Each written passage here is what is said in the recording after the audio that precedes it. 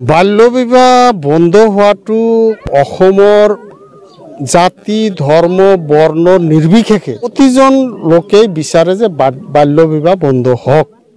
কংগ্ৰেছ দলেতো আৰু বেছিকৈ বিচাৰে যে বাল্যবিবাহ বন্ধ হওক। সেইকাৰণে কংগ্ৰেছ দলে দুহেজাৰ ছয় চনত বাল্যবিবাহ প্ৰতিৰোধ আইন ৰূপায়ণ মানে প্ৰণয়ন কৰিছিলে। কিন্তু দুহেজাৰ ষোল্ল চনৰ পৰা যি বিজেপি চৰকাৰ অসমত চলি আছে তেওঁলোকে এই আইনখন ৰূপায়ণ কৰাত ব্যৰ্থ হৈছে। এই আইনখন ৰূপায়ণ কৰিবলৈ গ'লে হ'লে প্ৰথমতে সামাজিক সচেতনতা সজাগতা সৃষ্টি কৰিব লাগিব। পাৰিলে প্ৰতিটো মণ্ডল প্ৰতিটো জি পি প্ৰতিটো ৱাৰ্ডত আমি সজাগতা সভা পাতিব লাগিব।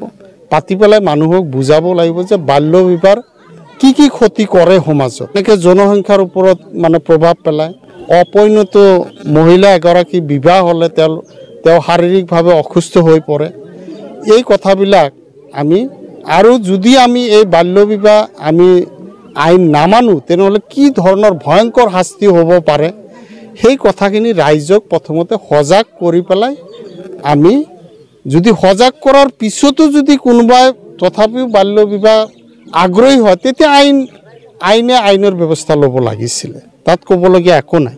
এইবিলাক সকলো বিষয়ত সজাগ হোৱাৰ পিছতো আইন ভংগ কৰিব তেওঁৰ বিৰুদ্ধে একশ্যন ল'ব লাগিব। তাত ক'বলগীয়া একো নাই। তাৰমানে বাল্য বিবাহ ৰোধ কৰিব কিন্তু আজি কেইবা বছৰৰ আগত কোনোবা এজনে বাল্য বিবাহ কৰিছে আজিৰ তাৰিখত তেওঁক ইতিমধ্যে ল'ৰা ছোৱালী হৈছে বা সেই বাল্য বিবাহ কৰা যুৱক যুৱতীহালে ইতিমধ্যে প্ৰাপ্তবয়স্ক হৈ গৈছে। তেওঁলোকক জেলত ভৰাই এটা সামাজিক অস্থিৰতা সামাজিক আতংক পৰিৱেশৰ যি সৃষ্টি কৰিছে বৰ্তমান চৰকাৰখনে সেয়া কিন্তু সমৰ্থনযোগ্য নহয়।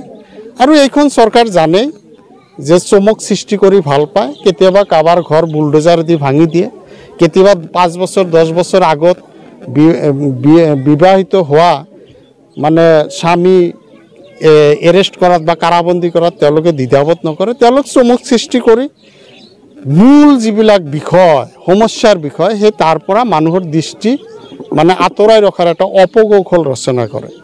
আজিৰ তাৰিখত মূল্য বৃদ্ধি নিবনুৱা সমস্যা এই বিষয়ত যাতে মানুহে মনোযোগ দিব নোৱাৰে তাৰ কাৰণে তেওঁলোকে কৃত্ৰিমভাৱে কিছু সামাজিক সমস্যাৰ সৃষ্টি কৰে। সৃষ্টি কৰি পেলাই মানুহৰ এটেনশ্যন মনোযোগটো ডাইভাৰ্ট কৰি